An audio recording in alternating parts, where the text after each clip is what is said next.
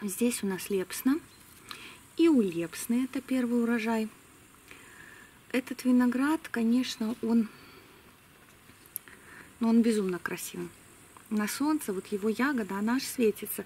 Я когда видела фотографии в интернете, мне казалось, что это просто красивая картинка. Но он действительно невероятно красив.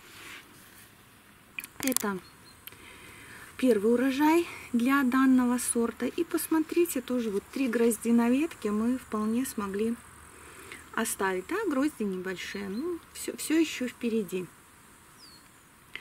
По вкусовым качествам у данного сорта очень интересный такой переход. С одной стороны, это тропический аромат. Э, аромат, о котором я уже говорила, чем-то напоминающий личи. Но вот две недели назад мы уже ее пробовали. И тогда аромат фрукта больше ощущался.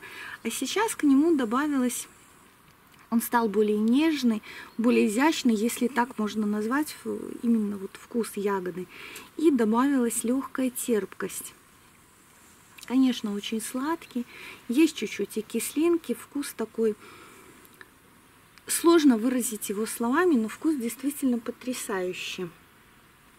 И я думаю, что вот, наверное, такие сорта, они используются даже не просто для вина, а для купажирования, потому что эти ароматы в вине должны раскрываться очень хорошо.